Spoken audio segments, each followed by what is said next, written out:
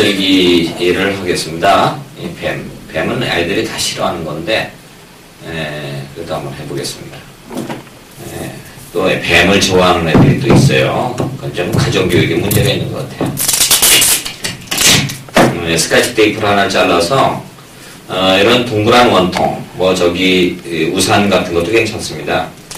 이런 데다 대고서 잘 묶어주신 다음에 이것을 이렇게 이렇게 이렇게 한 4cm 간격으로 4cm 간격으로 이렇게 보세요. 그 다음에 누군가가 옆에서 도와주지 않으면 안 되거든요. 좀 도우세요.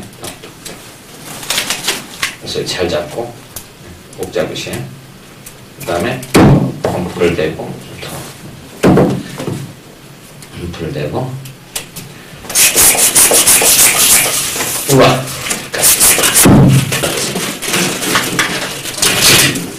이렇게 해서 원래는 이제 이걸 이렇게 아, 하지 말고 어린아이들 손을 에, 이용해서 손목을 이용해서 하는 게 훨씬 더 낫습니다. 그럼 좀 에, 이렇게 불규칙하게 안 되고 잘 될 텐데.